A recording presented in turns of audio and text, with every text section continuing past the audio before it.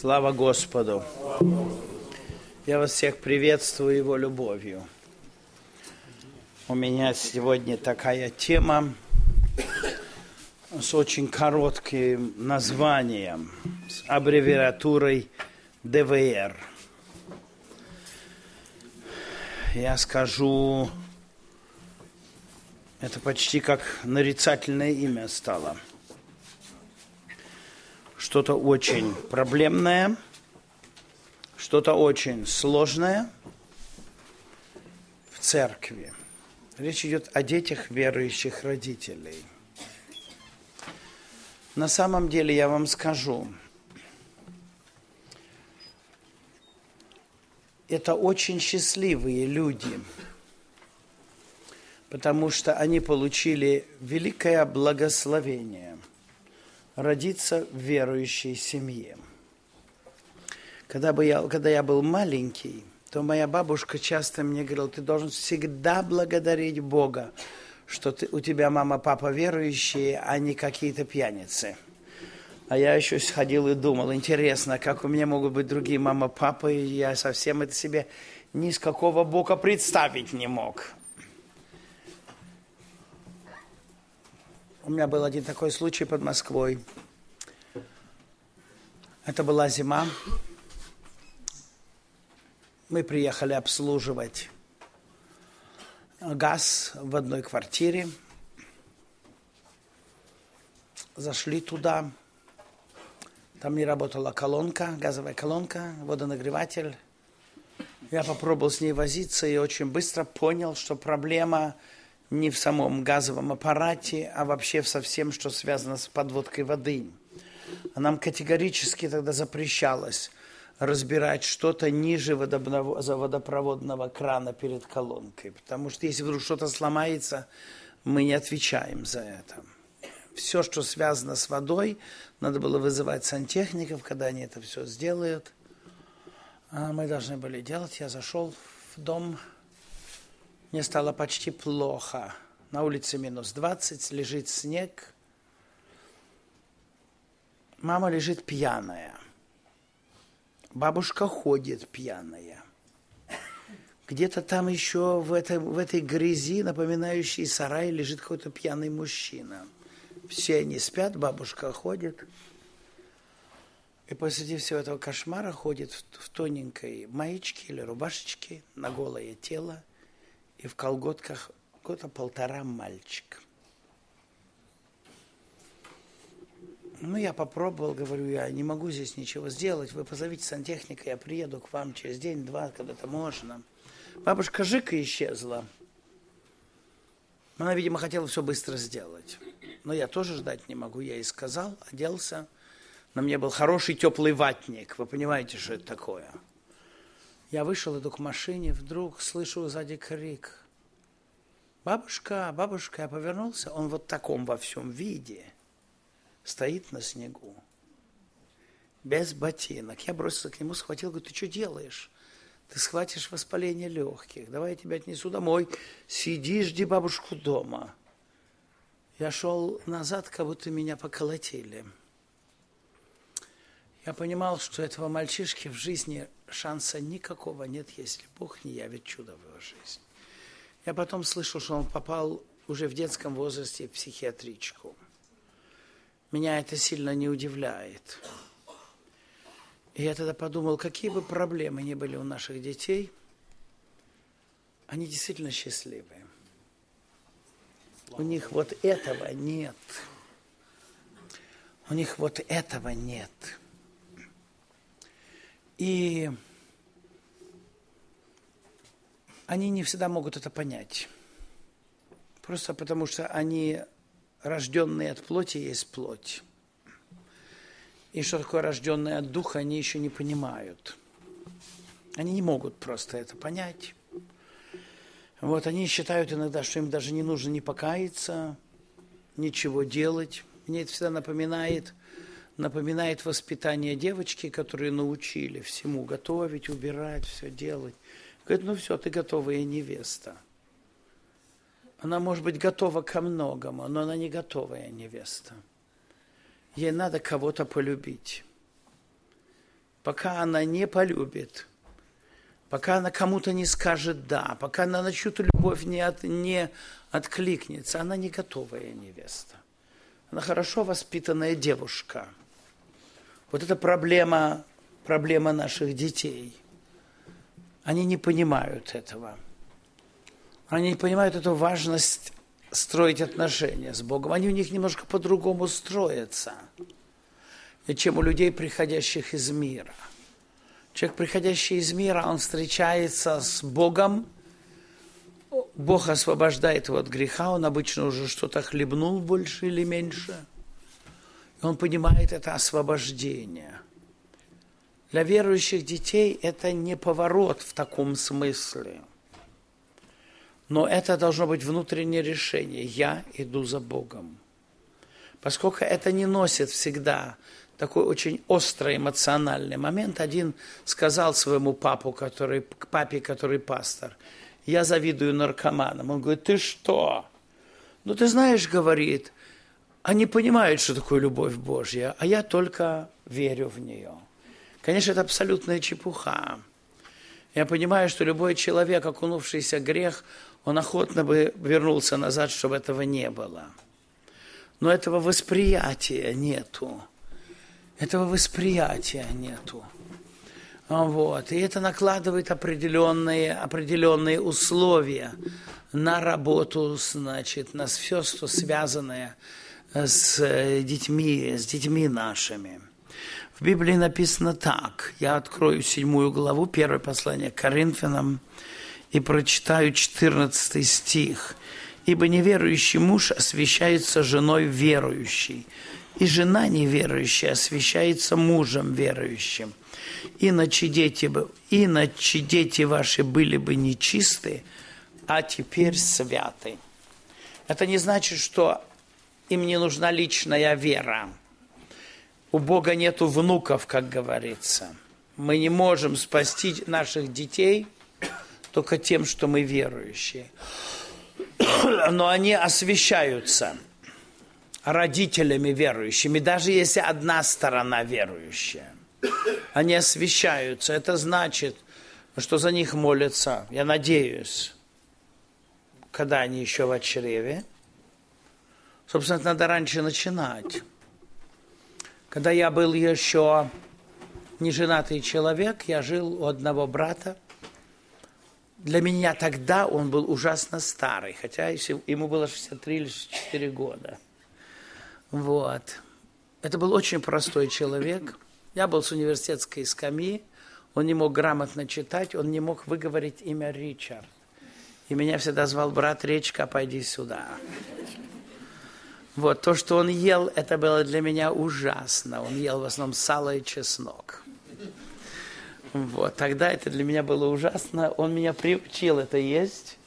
Мне, в принципе, это нравится, но сало мне нельзя все время есть из моего диабета, а чеснок – это больше вопрос моей жены. Вот. И он очень много интересных таких вещей говорил. У него, во-первых, у него были довольно сильные видения.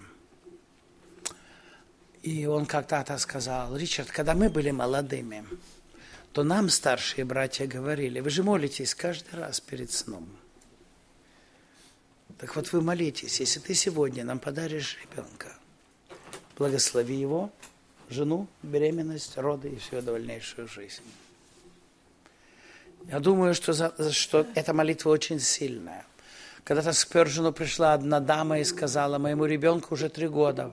Проповедник, как вы думаете, надо начинать его воспитывать по-христиански? Он посмотрел на меня и сказал, уважаемая госпожа, вы опоздали на четыре года. Хотя ребенку было три. Я понимаю, что мы должны за ребенка молиться. А вот, за ребенка молиться. У нас где-то лет 10 назад, может быть, 12, 12, да, времени было такое слово, что сестры, сестры, дочери мои, которые выполнят свой материнский долг до конца и нигде не усомнятся и не остановятся, то многие из них получат венцы, которые не будут уступать венцам братьев, прошедших через трудные времена. Но церковь должна за них молиться, и особенно мужьям. Церковь должна за них молиться. Сегодня пока нет гонений. Это, наверное, самая большая боль, которую может человек в церкви испытывать.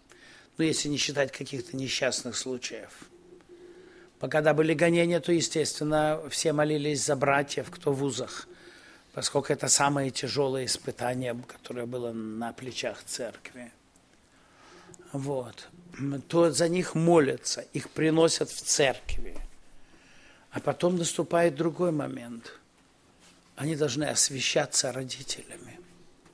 Они должны освещаться Словом Божьим. И я хочу сказать, вот этот текст, он мне говорит, что это основной источник благодати для детей в верующих семьях. Они освещаются родителями. Родители за них молятся. Родители с ними разговаривают. Родители им какие-то вещи показывают. Это очень важная вещь. Я очень благодарен. У меня большую роль сыграл дедушка. Он, собственно, сам покаялся на смертном ордере, но, тем не менее, будучи необращенным лютеранином, он сумел привить мне две вещи, которые я очень ценю в своей жизни. Он привил мне, сумел привить мне любовь к Библии, и он сумел привить мне любовь к израильскому народу и к Израилю. Это вещи, которые, за которые я ему очень благодарен и считаю очень важными в моей жизни. Он очень интересно меня учил Библии. Он, он очень умело показывал, что в Библии нет никаких противоречий. Никаких, потому что особенно тогда их много подымалось. Он умел показывать, как Библия, как Библия права в житейских ситуациях как Библия права в науке. Мы этим всем интересовались тогда. Он умел эти вещи показывать. Он умел показывать археологическую э, правду Библии. Он был такой интеллектуал. Он был профессором в Ташкентском университете, он знал греческий, латынь, вот, еще какие-то языки он знал. И как такие интеллектуалы, они все бывают немножко острым языком. Он все время так говорил, посмотрит на меня и говорит, Ричард, никогда не будь бараньей головой. Я тебе сейчас объясню, что это значит. Если ты нашел противоречие в Библии, то чтобы не быть бараньей головой, ты должен понять, что проблема не в Библии, а в твоей голове. Мне это очень сильно помогло. Я начал читать Библию в 18 или 19 лет с песней песней –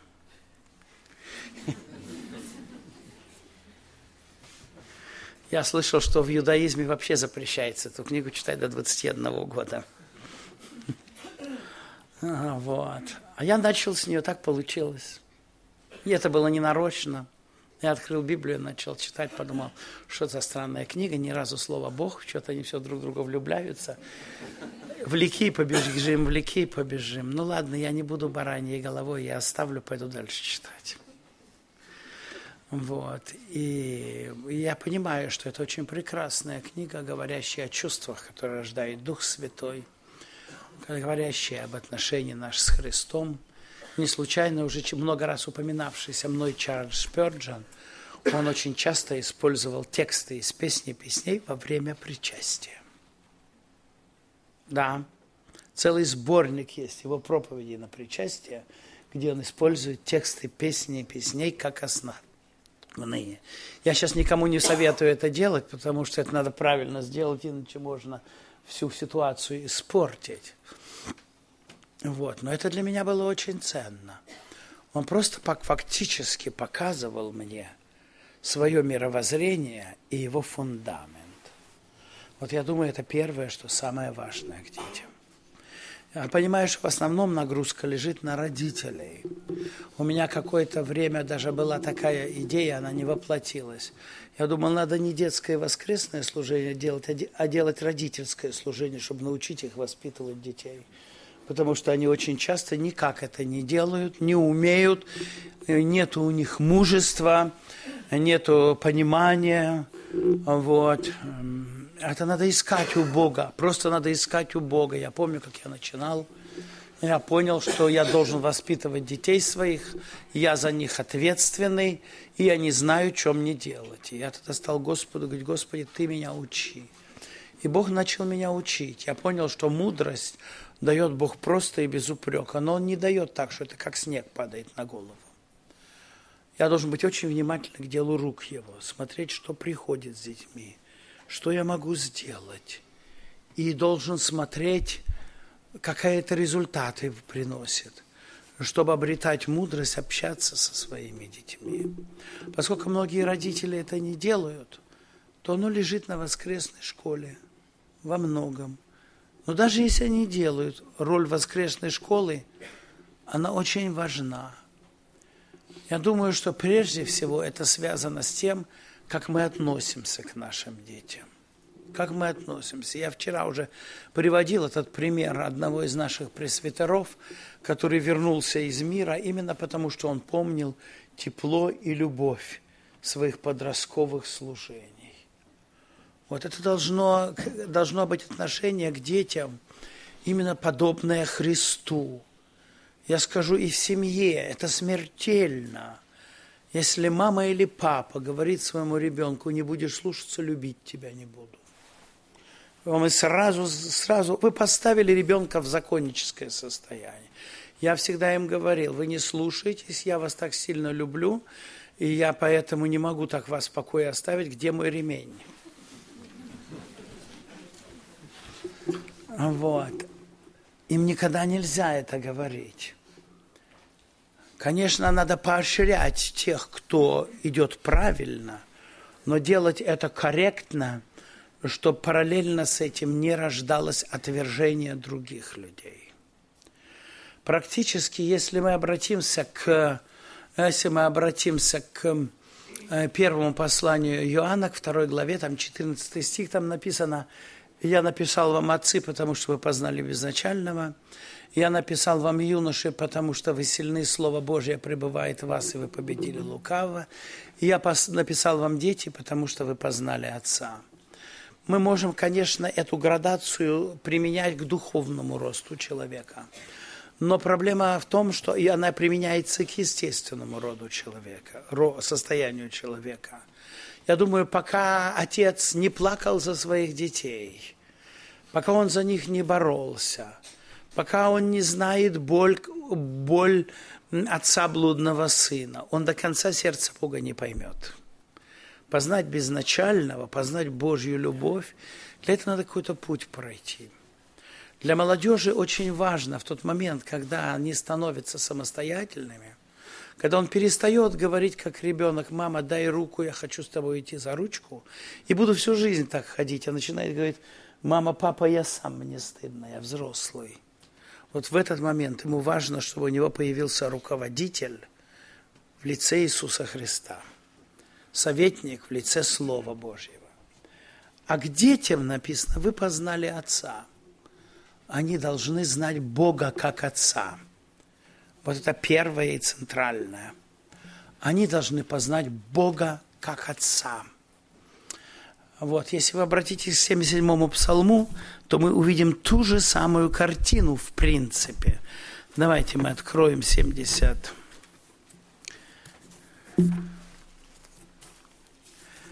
Откроем 77-ю, 77-й псалом и мы можем прочесть без труда следующее.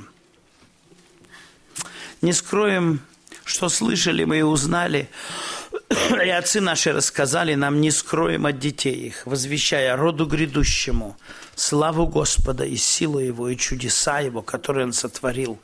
Он постановил устав в Иакове и положил закон в Израиле, который заповедал отцам нашим, возвещать детям их, чтобы знал грядущий род, дети, которые родятся, и чтобы они в свое время возвещали своим детям, возлагать надежду свою на Бога и не забывать дел Божий и хранить заповеди Его, и не быть подобными отцам их, роду упорному и мятежному, неустроенному сердцем и неверному Богу духом своим.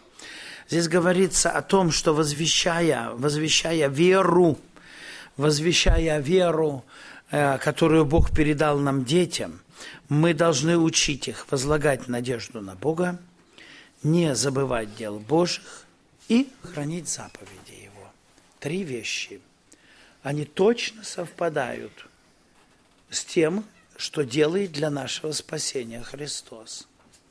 А Он для нашего спасения не только умер, хотя это очень важно и центральное, но Он пришел на эту землю как учитель, как царь и как первосвященник. Он отдал себя за нас, Он просвещает нас, да, и свет была жизнь человеков, и Он есть Господь всех. И Он есть Господь всех. То есть наши дети вот это всестороннее наставление должны получить. Я думаю, что как раз вот нехватка этой всесторонности, она очень сильно, очень сильно влияет на детей в негативном смысле. Вы понимаете, что обычно, когда они уходят в мир, они уходят в мир очень жестко. Они начинают иногда делать такие вещи, которые вообще нормальный человек будет просто избегать. Вот. Просто избегать. Они совершенно ни о чем не думают. Я знаю такой случай, в Израиле это было. Они поехали смотреть футбол в Иерусалиме. И среди них был сын одного пресвитера, но он в, Израиле уже не, не выполнял служение пресвитера. И они поспорили, выпьет ли он бутылку виски. И он ее выпил. У него выключились мозги. И остановилось сердце. Сердце они восстановили, но мозги сгорели полностью и умерли. Через короткое время этот 18-летний паренек умер.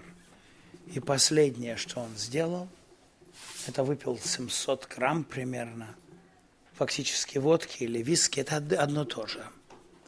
И вот таким состоянии человек шагнул. Это просто даже нормальный человек подумает, стоит ли заполнять свой, свою внутренность таким кошмаром. Падение, развраты, порнография, всякая грязь. Оно показывает, что у людей нету, нету того света, который людей просвещает. Я думаю, что касаясь, касаясь наших детей, касаясь детей верующих родителей, вопрос воскресной школы – это очень важно. В этом очень важная такая сторона – научить научить наших детей правильному, здравому евангельскому мировоззрению. Мы вот сейчас с Романом ехали, немножко говорили какие-то вещи и о том, что бывает даже в церквях. Вот братья спрашивают сестер, чтобы они правильно оделись. Они одеваются правильно. Но после служения они одеваются довольно вульгарно – кто-то брюки носит, я думаю, что у вас этого нет, но в Америке я это видел. Они ходят из служения, заходят в туалет, у них совершенно другой вид. Кто-то начинает полуобнаженно ходить на бретелечках, на чем-то еще. Но нам-то не нужна эта показуха. Нам нужно, чтобы человек понимал, что красиво. И чтобы человек понял, что сексуальность показанная – это не красота – это глупость. Да, это глупость. Это мне сказал Леня Одесский. Он приехал и сказал, мне кажется, ваши сестры немножко глупые. Я говорю, почему? Молодые. Они, говорят, ребятам показывают слишком много. Умная женщина всегда старается быть для мужчины тайной, по крайней мере, до брака. Это еврейская точка зрения. Понимаете, надо понимать, что такое красиво. Никто же не заставляет молодежь натянуть на себя картофельный мешок и думать, что она святая. Таких же вещей никто не просит. Но одень на себя что-то хорошее. Одень, что тебе подходит. Разберись, что тебе приятно. И носи это. Одевайся приятно, симпатично, не вызывающе, не экстравагантно, не показно. Одевайся, одевайся со стыдом. Не должно быть здесь каких-то таких особенно завлекающих э, надписей, которые привлекают всех прочитать это, а фактически вызывают совершенно взгляд куда не надо. Я думаю, что вопрос, вопрос детей верующих, им надо это объяснить. Им надо это объяснить. Это не просто требование. У них есть очень большая проблема, которая называется храмовое благочестие. Они знают, как надо вести себя в церкви. И они ведут себя так. Но у них есть такое представление, а в мире для людей это недействительно. В мире другая мораль, поэтому они эту двойной моралью живут. В результате они садятся в шпагат. Что это значит, не надо мне вам объяснять. Это очень часто вызывает очень сильные болевые ощущения, особенно если человек никогда не тренировался в этом. Им надо вот эти вещи показывать. Я скажу, мы очень много работали и работаем, чтобы им показать опасность социальных сетей. Вы понимаете, что я говорю? Это страшная вещь. И я с изумлением обнаружил. Мы, мы не просто им говорили, запрещаем что-то. Мы им показывали, что за этим стоит. Мы показывали скрытый за этим очень часто оккультный характер вещей. Мы показывали им бесстыдство того, что с этим связано. Вот. Потому что практически то, что ты выставил в социальные сети, это доступно всем. Это доступно всем. Это как в Берлине. Был один человек, он построил себе прозрачную квартиру, включая ванну, туалет. Я им спрашиваю, «Ну, вы в такой квартире будете жить? Да ты что? Да ты что? Вот, они тогда...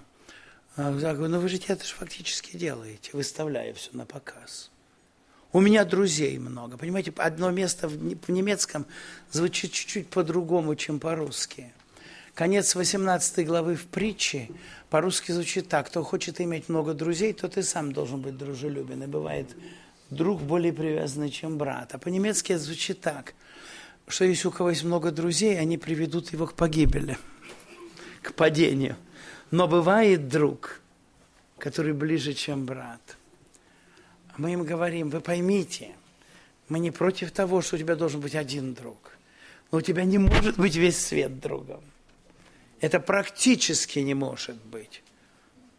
Если у меня есть мой друг в Израиле, Леня Одесский, который мой многолетний друг, то мне даже иногда просто я, хочется сесть с ним. Мне даже телефон не хватает. Сесть с ним просто посидеть с понятие интимности не только относится к брачным отношениям. Существует некая интимность, сокровенность, дружбы. Когда я могу сесть с человеком о чем-то поговорить, куда не может другой человек вмешаться. Вы знаете, мы работали, работали, работали. Тут сделали опрос, они почти все из сетях вышли. Я должен сказать, для меня это был почти шок.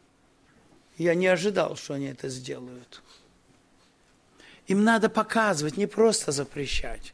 Есть вещи, которые сто процентов надо запрещать. Но не могут они ходить на дискотеку, и мы должны это говорить.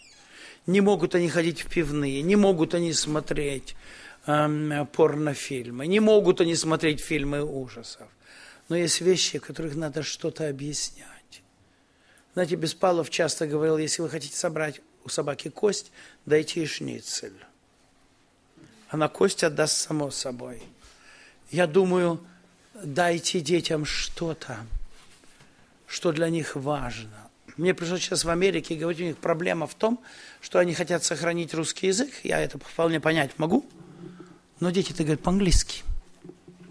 Я говорю, вы должны с ними говорить по-английски, потому что вы сейчас не хотите проповедовать по-английски. Придут, придет время, когда люди начнут проповедовать по-английски – но те, кто будет проповедовать, они уже ничего не смогут передать детям из тех ценностей, которые вы привезли из России. А эти ценности существуют. И вы должны эти ценности показать, чем они для нас были. Вы не о длине юбок только должны говорить. Сто процентов длина юбок должна быть целомудренная. Но то, что нас двигало к Богу, это не длина юбок сестер в церкви, а что-то другое – а что-то другое. Мне Леня сказал, я не понял, к нам приехали баптисты в Израиль. Они неделю вели беседы о том, как служить Богу. И только в последний день сказали, сестры, ну вы при этом же, конечно, понимаете, что ни одна желающая служить Богу сестра не оденет брюки. И все девушки переодели брюки, которые носили. Я, говорю, я не понял, как это сделали они. Они сделали это тому, что они дали им высокое богопознание. Оно не должно быть храмовым благочестием. Вот что я очень ценил в своем дедушке, он везде мне все показывал Бога. Я вам уже рассказывал, как бабушка мне сказала. Я вижу Бога в каждом листке. Он показывал Бога там, где он видел. Он был человек образованный, он занимался геофизикой, он занимался составлением, в свое время составлением карт роз ветров для самолетов. А вот. Он показывал это физике, он показывал это в звездах. Но не все, может быть, э, с этим сталкивались. Я понимаю, что кто-то может очень прекрасно объяснить красоту этого мира в музыке. Если ты музыкант, покажи это. Знаете, у меня была в Москве образованная церковь, почти большая часть с высшим образованием. И у нас был один брат, который всю жизнь занимался лошадьми. Его все проповеди на лошадях были. Я до сих пор эти проповеди помню. И вся эта моя интеллигенция охотно его слушала. Потому что он знал, что он говорил. Он знал, что он говорил. У меня один зять, он работал лесником, лесничим, вернее, точнее, в России. Я удивлялся, мне самому было интересно. Идешь где-нибудь, нашел полено. Ну, я бы его так, фить в сторону. А он говорит, это такое дерево. Там такие качества. Он мне рассказал, и полено прямо стал почти как букет роз. Вы можете смеяться надо мной, но это надо нашим детям, понимаете? С ними надо куда-то выезжать. Я с ними выезжал в Краснодар, в Малоярославец, в Израиль. Не только потому, что мне покататься хочется, а я знал, что когда мы оказываемся в ними в неформальной обстановке, вне церковных стен, там, где мы, я мог им рассказать, что Бог здесь сделал, как наших братьев здесь преследовали, как люди здесь жили, где я им на Кавказе мог показать старые какие-то армянские, грузинские церкви, э, где я им в Израиле мог показать эти места. Вы знаете, мы летели через Турцию и в Стамбуле ночевали. Они, я уже говорю, они спокойно ложатся на скамейки и спят все. Им все равно, где спать, на полу, на скамейках. Они только кто спит, ходит, их фотографируют. Это, это они обожают делать, заставать людей в необычных позах. Но они не все спали. Они по очереди спали, а по очереди приходили ко мне. Брат Ричард, у них столько было вопросов. Мне хоть спички в глаза ставь. Они-то, у них, они-то по сменам это делают, все. А у меня сплошная смена – и никуда. И я скажу, мне было очень тяжело, но я был очень рад. Они задают вопросы о Боге. Оно привязывает Библию к их повседневной жизни. Не только к порядку, как войти, как сесть, что-то делать. Понимаете, я начинал с ними такие вещи, они собрались, они собрались в Берлин в зоопарк. Но это только молодежь может придумать. Четыре часа проехать на поезде, чтобы попасть в зоопарк. Я говорю, да вы что? Я понимаю, что в Берлине прекрасный зоопарк. Ехать 3-4 часа. Я говорю, так не пойдет. Я поеду с вами и покажу вам Берлин. У меня в это время получилась у дочки проблема. Ей выдернули зуб, у нее ночью открылось кровотечение. И мне надо было ехать, я им только позвонил и говорю, слушайте, я не могу с вами поехать. Но вы знаете мой телефон вы мне позвоните, и я, сидя в бремени, буду вам показывать, куда вы должны идти. Но так оно и получилось. Они гораздо меньше походили, чем, я, чем у меня было спланировано. Но я заправил их в музей музыкальных инструментов, который стоит рядом со зданием Берлинской филармонии. Сказал им, посмотрите, это лучший оркестр мира. Они пришли, я говорю, что вы видели? Они были все под впечатлением истории этой. Я стал с ним говорить о музыке о месте классики. А в моей жизни классика играла большую роль. Она учила меня молиться. Я вам говорю, я покаялся совсем один. И когда становишься на молитву, да вы тоже это знаете, не всегда сразу легко найти контакт с Богом. И в это время это меня, как ни странно, учили симфонии Бетховена и Брамса. Я включал эту музыку, на меня обрушивался каскад звуков, в котором я ничего не мог разобраться. И я слушал раз, два, три, и вдруг я начинал понимать, что за этим кажущимся каскадом музыки, звуков прорисовываются тонкие мелодии, красивые мысли. Там реальные мысли есть. Вот я когда первый раз прослушал, а, прослушал немецкий реквием – и начал слушать вторую часть, я подумал, ой, эта музыка мне напоминает полет над Европой на самолете после атомной бомбардировки. Но когда я нашел тексты этого, этой части, то эта часть называлась «Всякая плоть трава». Я мысль схватил только на свой лад. Я мысль схватил только на свой лад. И я им стал эти вещи показывать. И вот когда я слушал музыку, я понял, как надо молиться. Я могу встать пред Богом. Мне не кажется, мне кажется, Бог меня не слышит. Я не понимаю, что надо делать. Но когда я перед Богом стою, когда я Бога ищу, вдруг я начинаю понимать что-то. Как мне надо молиться. Из этого, из этого непонятного состояния. Вы знаете, я проговорил с ними два часа. Мы начали с музыки, кончили молитвой. Вот эти вещи им все надо показывать. С ними надо ехать, поскольку у них очень часто, они выращили в верующей семье, они все святые, они все принадлежат пятидесятникам, у них самое правильное учение, понятия они не имеют, что это такое. Главное, что они не баптисты. А вот. Так им надо показать, что это такое. Я встретил сейчас в Канаде в августе одного брата. Он говорит, я попав в Канаду, впервые столкнулся со свидетелями Иеговы, с мормонами, с другими. Я никогда в Германии с этим не сталкивался. Это заставило меня осмыслить, во что я верю. И у меня вера сильно укрепилась. Им надо показывать эти просто вещи. С ними надо просто ехать. С ними надо куда-то выходить. У них же, они же, они же энергичные все подростки не все энергичные. Им надо дать разрядиться. Я, например, конечно, уже с младшими мне было труднее это делать. Потому что они ребята, и они были крепкие, а я уже немножко в возрасте. У меня последний родился, когда мне 40 было. Значит, ему 20, мне уже 60. Они еще все такие крепкие мальчишки. Ну, вот. А пораньше был, там первые девочки, я тоже вижу, у них энергия фонтанирует, и они ничего не слушают. Я выйду куда ему говорю, так, вон ту березу, видите? Ну да.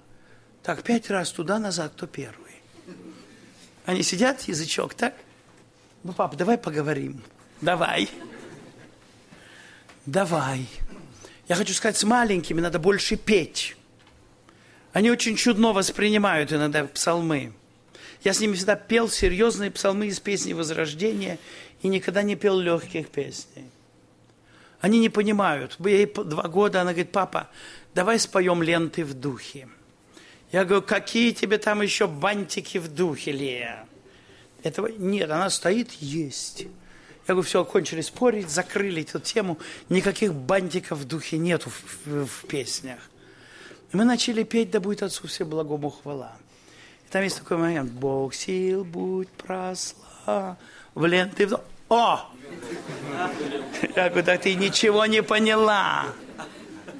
Но я скажу, это хорошо. Это хорошо. Она маленькая не может понять. Но мелодия вот тут.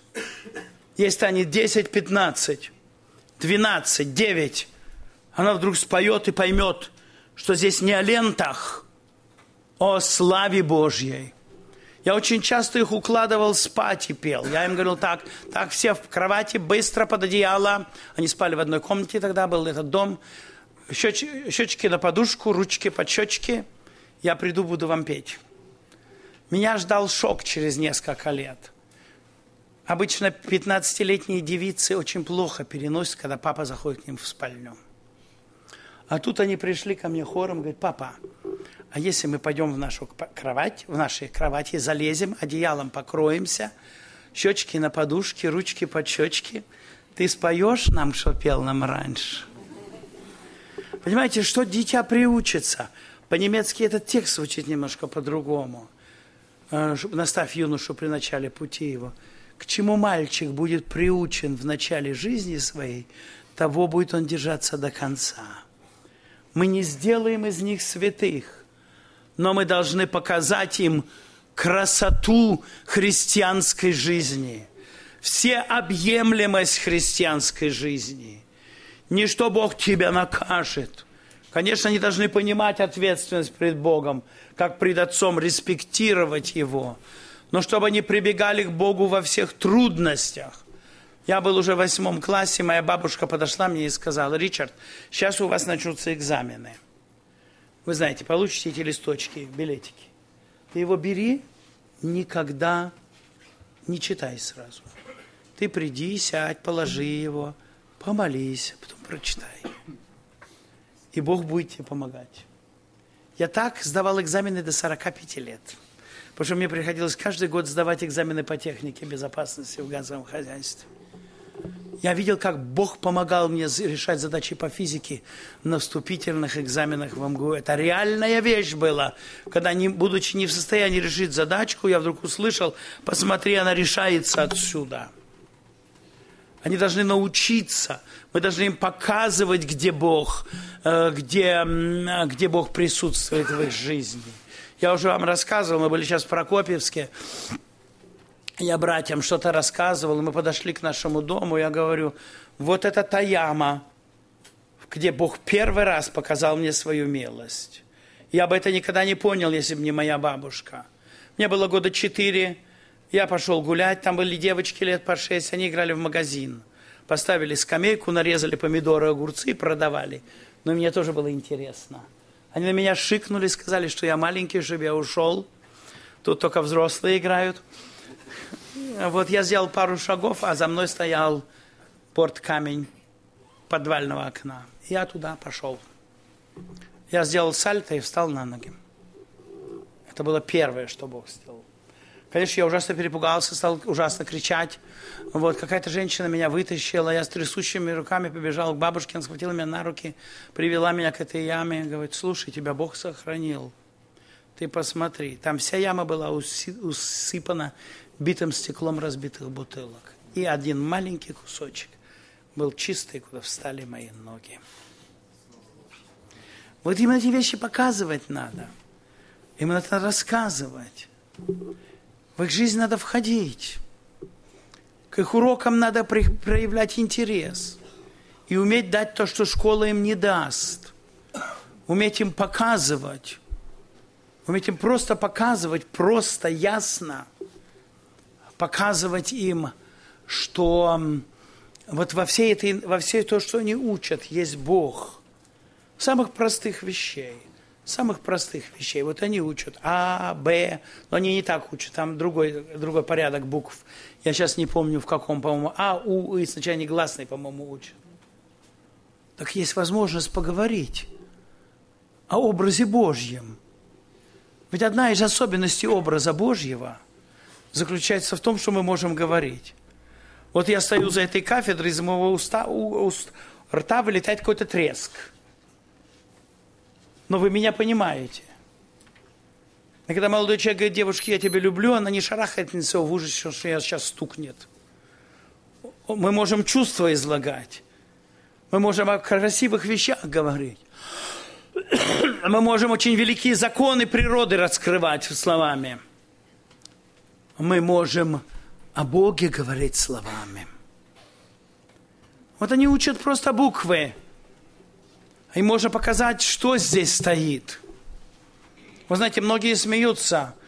Я, конечно, математику учил, но я не занимался. Но я и сегодня говорю, математика красивая штука. Люди начинают смеяться. Но за этим стоит, для меня за этим стоит красота тайны мироздания. Был в Германии такой музыкальный критик, его звали Эдуард Ганслик, он чех по национальности был, в Австро-Венгрии. Он говорил, архитектура – это застывшая музыка. Мне эта фраза очень нравится. Математика – это воплощенные в цифры, в законы. Тайна Божьего разума. который держится Вселенной. Это не просто арифметика дважды два, четыре, три плюс два, пять. Там есть очень сложные всякие вещи, которые позволяют нам что-то посмотреть. Ты можешь это показать на траве, ты можешь это показать на животных, которых, может быть, вы там разводите, на тех же курочках или, или овечках, или козочках, что у вас есть. Их, им, нужно, им нужно показывать, что Бог Отец, и за ними надо пойти. Иногда бывает, что они ни к чему не имеют интерес. Хотим на велосипедах покататься. Ну, съезди с ними. А когда они будут довольны, а когда они будут довольны, расскажи им что-то о красоте природы вокруг – Попробуй задать им какие-то вопросы. У них должно, у них большую роль играет христианское просвещение, чтобы у них появился правильный взгляд на жизнь. Это вот то, что мне этот брат Леня сказал. Целомудрие красиво, нагота уродлива. Она уродлива не потому, что человек некрасиво сотворен, а потому, что он так создан – первых людей, которые не нуждались в одежде, их покрывала слава Божья. Нагота сама по себе, она некрасива. Соблазнять человека – это еще не женская красота. А вот уметь, уметь эм, ценить красоту, уметь душу ценить. Знаете, я очень часто на семейных рассказываю, это, конечно, к детям не относится.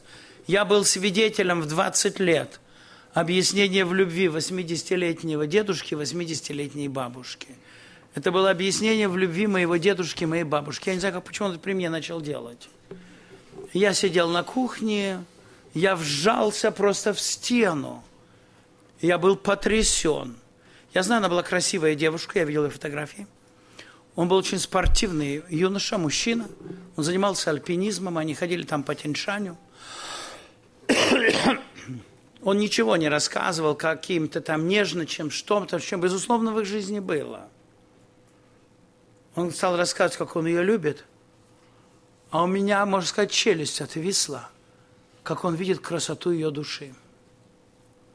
Я вдруг стал понимать, что у бабушки такая, такое сердце, а я вообще его не знаю. Я сидел и думал, о Господи, если мне будет 80 лет, и я буду женат, я бы хотел найти своей жене такие слова, как и он находит. Это не сказать, давай, как у тебя красивая ножка, как у тебя красиво. Вот, конечно, мы были тоже молодыми, мы были очень худенькими. А, а, мне, во мне было 55 кило, в ней 49, ее талия вот так у меня помещалась. Я говорил, иди сюда, попробуем. И это было очень весело. Но не эта красота. Но не эта красота. Я хожу, может быть, вокруг проблемы молодежи. Но я говорю о детях – которым очень важно дать правильный взгляд на жизнь, увидеть человека в человеке, увидеть в девушке не просто предмет вожделения, а другую личность. От этого зависит их будущее счастье, от этого зависит их целомудрие. Показать им, что брак требует э, этого зрелости. Я скажу, мы начинаем темы подготовки к браку с 12-летнего возраста. Мы впервые эти вещи преподносим им, показывая важность зрелости, ценности развитой личности, работоспособности, нацеленность правильная, показывая необходимость подчиниться Христу. Он же ведь и царь, Господь всех. Мы же с вами читали. Это в 77-м псалме. Показывая им, я хочу сказать, через это к ним приходит благодать. И, естественно, в центре должна стоять жертва Христа. Она должна стоять. Только она не должна стоять настолько оголенной. Христос любит, Христос тебя прощает, а он даже не понимает, за что его прощать. Ну да, конечно, плохо сделал, маме, папе не нравится. Он не понимает, у него нет богопознания. Вы знаете, что моя практика говорит в Москве, кто хуже всего приходил к Богу? не члены мафии, а работники советского общепита. Я не знаю, как это сейчас, но тогда же масло резали ножиком и сахар сыпали ложкой. Там 5 грамм, там 5 грамм, там 5 грамм, там 5 грамм. К концу стало много. Потом надо часть шефу дать, часть себе взять. Потом начинались пьянки, потом что-то еще. А вот что я пять грамм отрезал, это грех перед Богом. Вот это понять труднее, чем когда я кого-то ограбил. Вот им надо это, это познание дать. Знаете, моя бабушка с дедушкой все время повторяли. Ричард, ты должен знать, что укравший одну копейку такой же вор, как укравший 10 тысяч. Да ты что? Такой же. И я вам скажу, когда ребенок это слышит постоянно, когда ребенок это слышит, он, у него что-то появляется. Я знаю одну 17-летнюю девушку, они, как всегда, залезли в чужой огород, нарвали яблок, а у нее был отчим. Она принесла и сказала, на яблоки. А он спокойно отодвинул и сказал, ты знаешь что, ты меня прости, но я ворованное не ел никогда.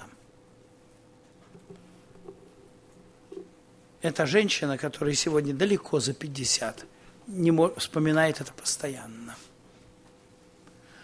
Что мальчик научится с детства, будет держать. Мы должны им дать это богопознание, мы должны их просветить, открыть им красоту души Иисуса, открыть Его любовь, готовность Его понять. И тогда поставить в центр, что Бог любит и Бог прощает. Но для того, чтобы Бог прощает, не просто можно наделать дел, покаяться, снова наделать дел, снова покаяться. Мы же не в католической церкви, не в православной. Но Бог ждет поворота сердца. Это сегодня большая проблема. Молодежь, дети и подростки занимаются так называемым юношеским грехом, готовы каждую неделю это исповедовать.